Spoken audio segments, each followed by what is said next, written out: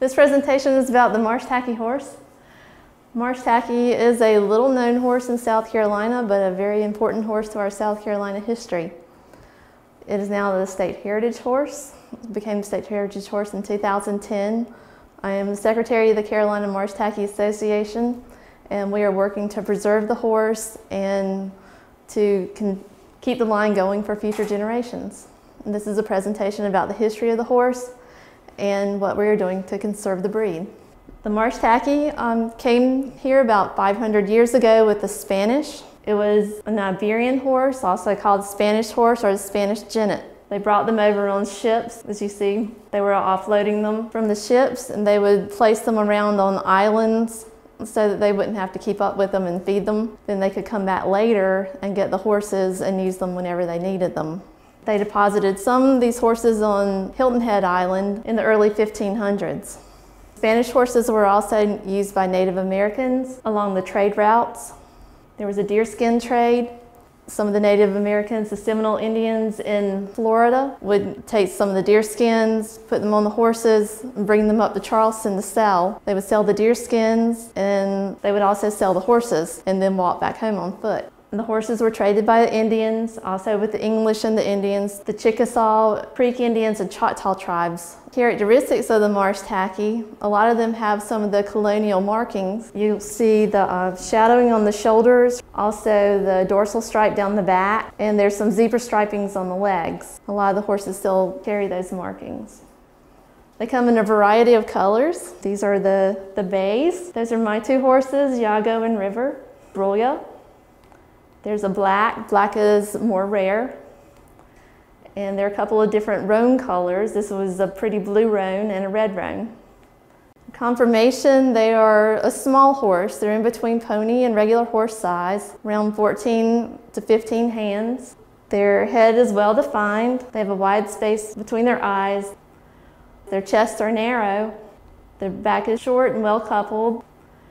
They have a sloping hind quarters. See how the, the tail hangs low off the back? It's a low set tail.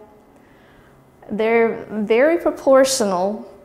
You may see in some news reports things that I don't like, like they are sway back, short legged, big headed. I'm fighting all of those. they have a great disposition and a great nature. They're level headed, they're sure footed, these are thinking horses. A lot of horses just react. Marsh tacky horses think. For a marsh tacky, the top thing for them is their safety and the safety of their rider. So when something happens, they think about it first. They don't just panic. These animals are woods friendly. They've grown up in the woods. They've had to survive on their own. When earlier civilizations perished, these marsh tackies were alive. They were able to beat the odds and stay alive. They could just live off brush. Swamp savvy. They have a unique ability to get out of swamps. Other horses may get stuck in the swamps, like in pluff mud, and they'll panic and get themselves bogged down more. And I've seen this happen. Marsh tacky gets stuck in the mud, it lies on its side, pulls its feet out, and then crawls out of it. They're easy keepers. A lot of people say they never need a farrier. I'm having a farrier check mine because all my animals are spoiled. You can just put them out in the pasture and they, they can live on forage. The horses these days are a little bit bigger than they used to be because most of them get grain and, and better feed now. We found out that marsh tackies have a unique gait. Dr. Molly Nicodemus at Mississippi State University studied the gait of the marsh tacky and found that it was different than all other horses. And she allowed us to name the gait, so we had a contest to name the marsh tacky gait and we settled on the Swamp Fox Trot. And that's the nod to Francis Marion, who used these horses in the Revolutionary War. So marsh tackies were used to defend our state in times of war. Francis Marion and his troops used the horses. They were the common horse in the area. Francis Marion's troops usually brought their own equipment and their own horses. Within those horses, there were a lot of marsh tackies. And it was said that if you wanted to save your horse during the Revolutionary War, the best place for them was with Francis Marion because he protected his horses. They were also used by the British troops. When they ran short on their horse supply, they would steal marsh tackies and some of their horses were lost at sea and they came to Charleston and stole some marsh tackies there too. But usually the British horses were big. They couldn't get through the swamps the way the marsh tackies could. Usually Francis Marion used the horses for just quick retreats or getting places quickly. They rarely fought on horseback. But it was easy to take these horses places. You didn't have to carry grain and other feed for them. They, they were easy to use. They were quiet. They didn't panic. I read about some horses being taken off Hilton Head in the night, and they were all very quiet. They, they just seemed to know. And also their coat colors blended in with the low country terrain. That's another thing that helped them to get away and to hide. This is an example. You can see the grulla color blended in with the sand, whether it was gray or, or brown. And also it's really hard to see these horses. You can see the orange hunting vests, but it's hard to see the horses in the brush, low country brush. They were also used in the Civil War, specifically by the Citadel Cadet Rangers. The cadets were in school at the time. The Citadel told them that they could not go and join the war. They disagreed. They thought they were missing out on all the action. So a group of Citadel cadets left and formed the Cadet Rangers. And this was their captain, Moses Benbow Humphrey. Later, in the Battle of Virginia, he was wounded and so was his horse. And he eventually died of his injuries. And his horse Yago died of his injuries too. And legend has it that they were buried together in the same grave. In World War II, marsh tackies were used as beach pounders. There was a station on Hilton Head Island for the coast. They would patrol the shores for, looking for U-boats. At first, the horses were issued by the Army Later, horse supply ran low, so they were asking locals to bring their horses, and a lot of those were marsh tackies. And they were also used in times of peace. They were the main mode of transportation in the low country. People used them for just about anything.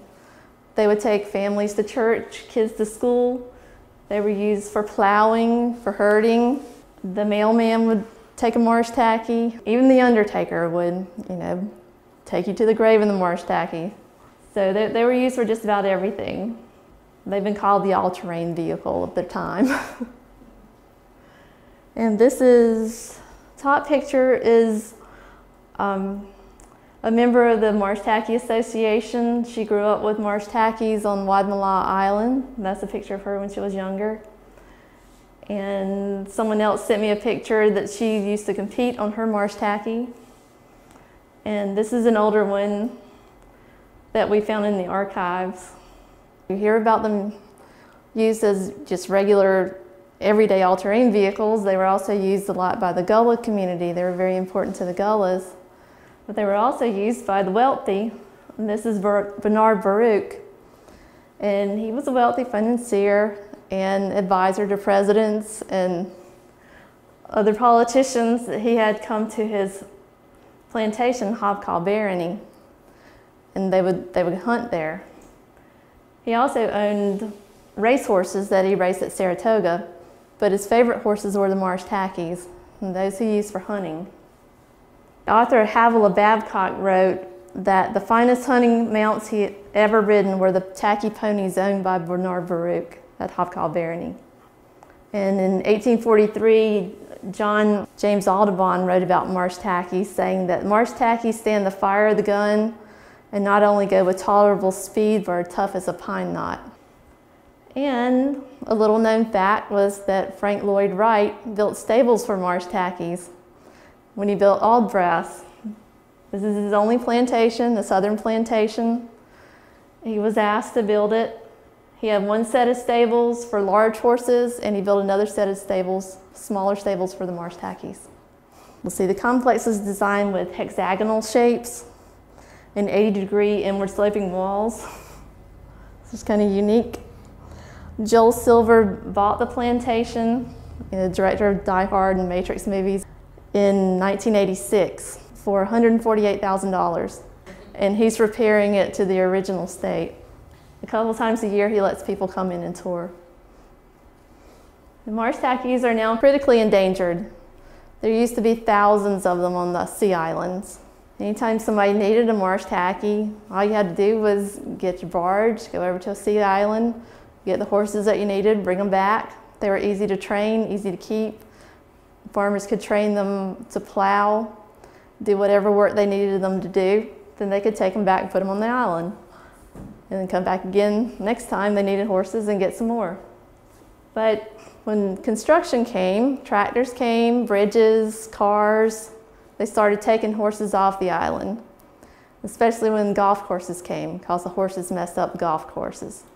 So they wanted all the wild horses off the island. Mr. D.P. Lowther, the president of the Marsh Tacky Association, went over and got a lot of these horses because he'd always loved them and still has very many of them. A lot of the horses that were taken off the islands were bred with other horses and lost their, their heritage that way.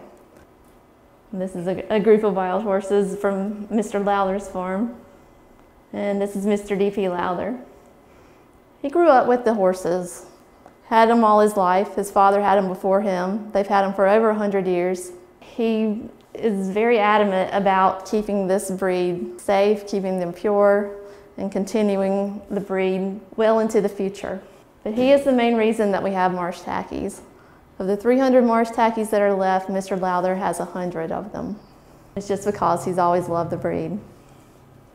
There are other breeders that have marsh tackies.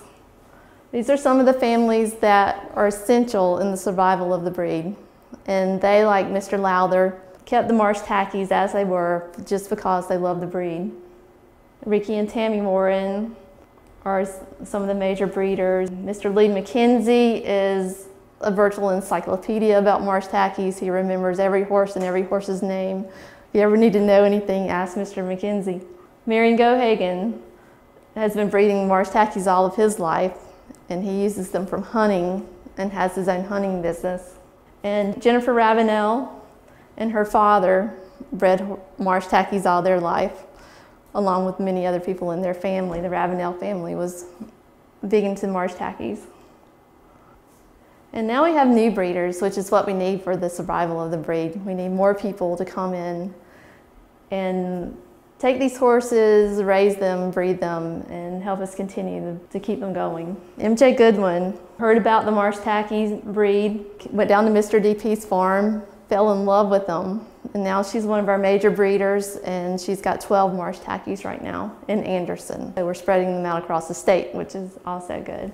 John Speisinger is a member of the Wassamasaw tribe Indians and he grew up with marsh tackies on Johns Island and was talking to his son about the horses. They had other horses. He said he really wanted to find that little swamp pony he used to know when he was growing up. So his son got on the internet and was looking around and found the Marsh Tacky Association. He took his dad out to see them and he said, that's exactly it, they're still here. So now they're, they're some of our newer breeders. Marion Broach heard about the Marsh Tackies, read about them in an article. He's now a major breeder. He sold all of his Harley Davidson motorcycles and got Marsh Tackies. And we have David Grant, who found out about Marsh Tackies through hunting and got a few, fell in love with the breed. And now he has his own TV show and his own company, Marsh Tacky Outdoors. But we are in need of more people to breed the horses and to raise the horses and keep them safe. We do have help. We've got the American Livestock Breeds Conservancy that has agreed to take on our stud book, which includes all the horses have passed and all the ones that are alive they keep a list of horses that die and new ones that are born and which horses are gelded. So anytime we need any advice about breeding or to find out where certain horses are, the American Livestock Breed Conservancy has all that information. They found out about the marsh tacky through the Florida Cracker Association. They told them that there were similar horses in South Carolina. So they came up and checked it out and they helped us get the breed association started because they realized something needed to be done to um, save the breed. All of the horses that are in our, our breed book have been DNA tested, so they are pure marsh tackies. So DNA analysis has been done. Um, other colonial Spanish horses are Florida Cracker horses and the Shackleford Banks horses in North Carolina. They're all related. These are all different strains of the colonial Spanish horse breed. So current uses of marsh tackies, they're used a lot for hunting. Their heads are low, so it's easy to sit on them and you can shoot directly across their heads. They're used a lot for recreation. I've heard of some people using marsh tackies for dressage. And competitive trail riding is a new thing. A lot of our members are, are into the competitive trail riding. Where you go and you have certain obstacles. And marsh tackies are pretty good at this because they don't spook very easily. They're easy to train for that. Beach racing is a big thing that we do now, but it's also a thing of the past. And in the past, people would race their horses on the beach after the harvest. It was a kind of a last hurrah of the season. Everyone would take their horses out to the beach and race, and it was just for bragging rights and just for fun. And that ended around the 1960s when they started taking horses off the beach. And we thought it'd be fun to bring it back, and, and it has been. It's become a popular event. This was in 2009. This was our first race on Mitchelville Beach.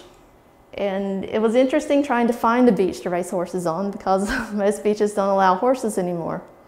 And Hilton Head wanted us to race there, but there was a problem. We couldn't race because horses weren't allowed on the beach. But we found this little loophole that Mitchellsville Beach was not technically categorized as a beach. So we were able to take the horses there. We were expecting 300 people. It wasn't very well advertised, but we're surprised to find out that we had 3,000 people show up, shut down the roads of Hilton Head. it was amazing. So the next year, we talked to the Hilton Head Council and they decided to change the ordinance and allow us to run on Coligny Beach, which was a bigger beach, a lot more room for people and parking. And that year we had 5,000 people show up. And we started getting a, a, gathering of tacky hat ladies. And they've shown up at the races every year. And they, they just have a good time, wear their tacky hats. And we've started to have a contest now for the tacky hats. And the Marsh Tacky Cup winner that year, this was in 2011, was a horse named Molly. She was the oldest horse on the beach, she's 22 years old, and had one of the youngest riders. Brittany was 19 riding her then and she beat all the younger horses. And this is a picture of Molly, Molly in the lead. So in 2013, we took the horses to Daufuskie Island, which is like a, a completely new experience. With no bridge, we had to barge these horses across to the island. A lot of people said that was their favorite part, is just taking the horses back to the island because they used to be plentiful there. It was a gorgeous setting, weather was right, and put on a pretty good race.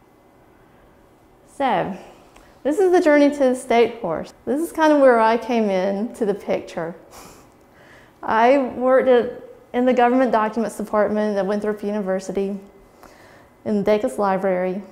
I saw all the legislation coming across my desk. In 2005, there was a bill to make the Marsh Tacky the state horse. Perfect. It was the only one that could be the state horse. I'd loved these horses all my life. I started in third grade when I was writing about South Carolina history. And I'd read all of the Marguerite Henry books about Misty of Chincoteague and just loved those. And I was working in the library then. I worked there since I was a kid. But I was talking to my librarian and I said, I wish that South Carolina had horses on the islands like North Carolina. And she said, well, we do, but not many people know about them. So I got really excited and I went home and told my parents and we'd been to see the North Carolina horses. So they took me down to Charleston area to look around for marsh tackies and we did find some. Um, that, that, at that time, they were tied outside people's houses. And my dad, who would talk to just about anybody, got out of the car and was talking to people about the horses, and I got to see them and pet them. And I came back and wrote about them in my South Carolina paper, even though they weren't, you know, a state symbol yet. and as it turned out, my, my project won first place and was put in the library on display, but was stolen. So I wish I had the, I I wish I still had it because my mother kept about it everything. But I read about them then. and I said to the librarian, well, maybe one day I'll write about them and then people will know who they, what they are. So here I am. I found out that the 2005 bill failed, which made absolutely no sense. There was no other horse that's been in the state that long. So I decided to find out what happened we read about them for a while. Um, I was working with Patty Stafford in my office we found out that there was an association planning meeting for marsh tacky horses. And I said, we've got to go. So we decided to attend that meeting. In 2007, we went down to Johns Island and I told them, you know, we got to do something. This, this needs to be the state horse. It's the only one that can be the state horse. And so they didn't know who we were. but they, they decided we were sincere and wanted me to step in and help them with the state horse bill. I came in and decided, well, we need to choose the reasons why this should be the state horse, get the word out there. We looked around to see what other states had state horses. There were a lot around the South that had state horses, so that was another thing in our argument. I decided to rewrite the bill to try to have it, you know, write it in a way that would be more acceptable. And for, presented it as the um, South Carolina state horse, but later we found out that some people were reluctant to take it as a state horse because other people might, you know, get jealous, other horse groups. So we said, well, you know, how about state heritage horse? Because it is our heritage horse. And I think that's what, one of the things that helped it pass. So uh, the official state horses, Alabama had the racking horse, Florida had the Florida cracker horse, Idaho had the Appaloosa, Kentucky and Maryland shared the thoroughbred, Massachusetts and Vermont had the Morgan horse, Missouri had the fox trotting horse, North Dakota had the Nakota horse, Tennessee had the Tennessee walking horse, and North Carolina now has the Spanish Mustang which became their state horse shortly after the Marsh Tacky became our state horse.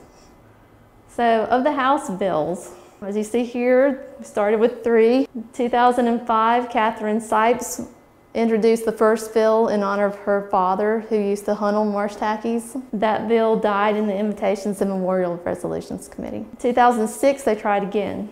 That bill died in the Invitations and Memorial Resolutions Committee. In 2007, the next bill went to the Committee on Ways and Means, but it didn't get much further than that. Because then it ran into a mule.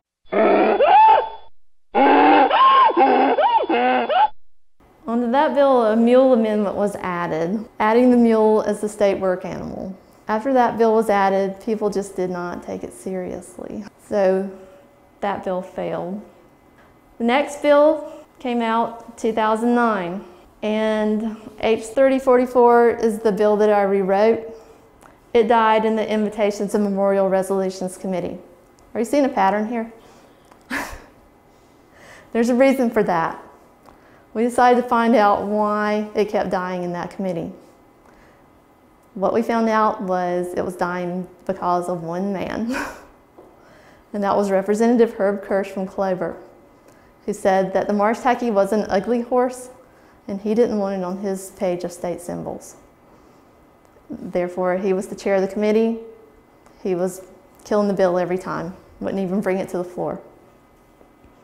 So I called Representative Kirsh and talked to him about the horse. And he told me it was an ugly horse. I said, well, maybe you, maybe you didn't see a marsh tacky. Maybe you saw a bad picture of a marsh tacky. I said, let me send you some pictures of marsh tacky so you can see what they really look like. He said, I've already seen one. I don't need to see another one. So I talked to him about the history of the horse, how it's been here for 500 years, how it helped develop our state. He said he didn't care. And I said, well, what if your constituents want the Marsh Tacky to be the state horse? Would you support it then? And he said, no. If they don't like the way I vote, they don't need to vote for me next time. And he said, thank you for calling, little miss, and hung up on me. So I decided whenever I got a Marsh Tacky mare, I was going to name her Little Miss. Because I wanted Herb Kirsh to know, don't mess with Little Miss. So to try to get around him, we introduced the identical bill into the Senate. Senate had no problem with the bill. There were a few little technical issues, a few numbers needed to be changed, nothing major. It went through the Senate. They sent it back to the House for approval, and it went to Invitations and Memorial Resolutions Committee. Again, Again, Herb Kirsh tried to kill the bill. And during that time, he got hurt on, I think it was an escalator, and we were hoping he'd be out for a while, but no, he came back the next day. We had people from all over the state call their representatives and talk to them about the marsh tacky because they, you know, we sent we sent out petitions that didn't really do anything because they wanted people in their in their areas to support the horse. So we had people from different areas in the state call their representatives. And that's what got this, this bill passed. We were able to pull it out of the committee. We had enough votes in the committee to get it past Herb Kirsh. He was not happy, but we pulled it out of committee and it went back to the House floor. Then it ran into a mule again. Representative Kennedy came back again with his mule amendment to make the mule the state work animal. I thought, we're done. It's, it's, not gonna, it's not gonna go anywhere.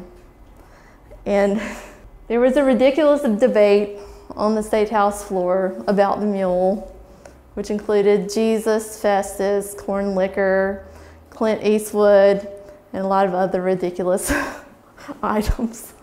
And that that debate went on for 20 minutes until it timed out, and I thought, we're done. They, they think it's a joke. So I called everybody. I said, talk to your representatives now. Tell them this is not a joke. This is something that we have to get through. It's good for the state, it's good for the horse, it's a living piece of history that we can't let go. So please call them. They did. I think it worked. It got delayed a few times on the House floor, but two days before the end of the session, it finally came back and it came to a vote. That vote passed 62 yeas and 31 nays. So all we needed was the signature of the governor and it was done. And there we are with the bill signed by Governor Sanford. We learned that day that Governor Sanford had grown up with marsh tacky horses, knew all about them, and completely supported our bill. So that, that was a great day for all of us. Marsh Tacky was finally the state heritage horse. So today, the Marsh Tacky Association exists to get the word out about the Marsh Tacky horse and to keep it going for future generations. Education is a big part of, of our purpose. We do a lot of school visits. A lot of people want to know where you can see marsh tackies. We've got several at Brookgreen Gardens that you can see and several at the Coastal Discovery Museum on Hilton Head Island. And we do a lot of community events. So if anyone needs a marsh tacky horse, they can just let us know and we can get somebody over to the event. Upcoming events, you just check the Marsh Tacky website, Marsh Tacky Association website, marshtacky.org. All our events will be posted on there. Any questions?